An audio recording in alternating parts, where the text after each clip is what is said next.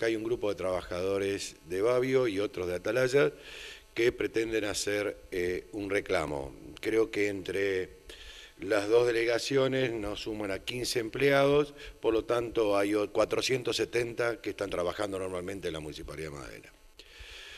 Quiero aclarar que esto, yo no tengo menor duda que esto se inscribe entre una instancia política generada por un gremio que del conflicto hace, su esencia, que es ATE. Eh, ¿Y cómo se origina esto? Esto más vale que la gente lo sepa.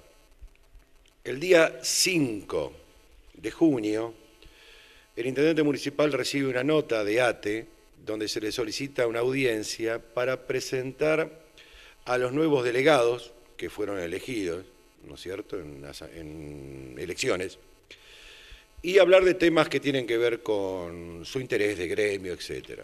Esto el día 5 de junio.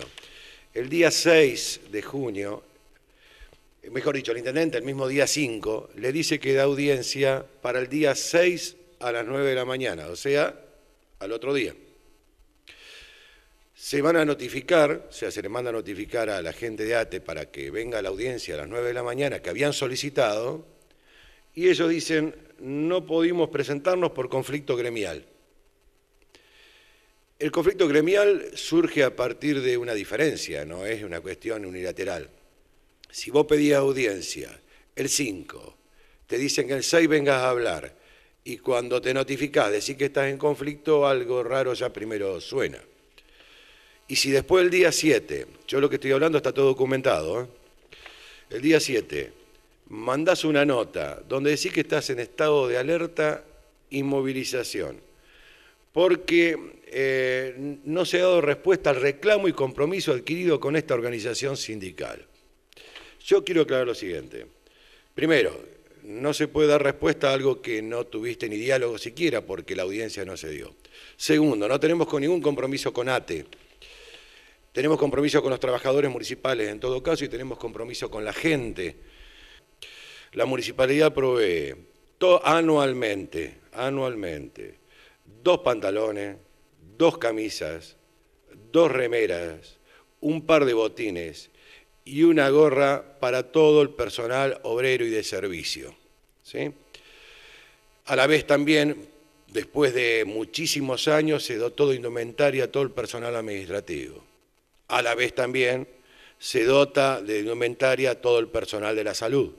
Es decir, la municipalidad no deja de cumplir con esta obligación. Está ya eh, toda la ropa, porque nosotros también le damos trabajo a la gente de Magdalena. Compramos en Magdalena y compramos ropa de primera calidad, toda ropa grafa, marca Pampero, y que en estos momentos, o desde la semana pasada, están siendo en gráfica eh, de la localidad, están poniendo los logos de la municipalidad identificatorios.